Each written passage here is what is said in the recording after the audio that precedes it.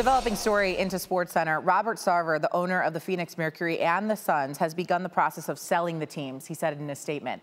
Sarver was suspended for a year and fined $10 million last week after an investigation found he used the N word at least five times, had been involved in unfair treatment of female employees, and bullying behavior.